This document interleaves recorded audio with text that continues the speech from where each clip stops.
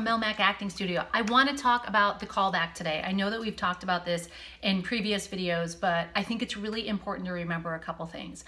Number one, if you're getting a callback, be sure to listen to the session director or the casting director when they come out of the room and give you some tips.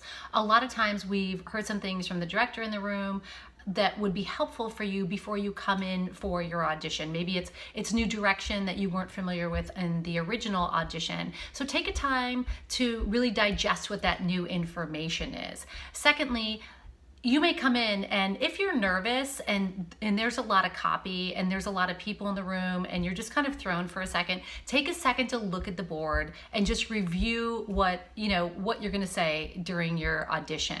Uh, i think that i think that starts you off on a really good solid confident foot and lastly, if you flub up during your audition, just keep going. If it's that much of a flub and you're like, you know what, nope, I'm just gonna take it right back, then take it right back.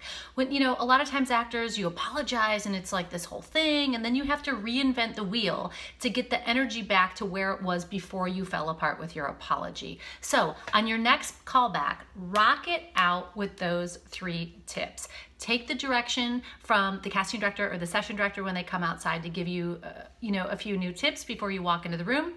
Once you're in the room, take a second with, with the board or with your copy just so you can, you know, refamiliarize yourself with the room and just kind of get settled for a second.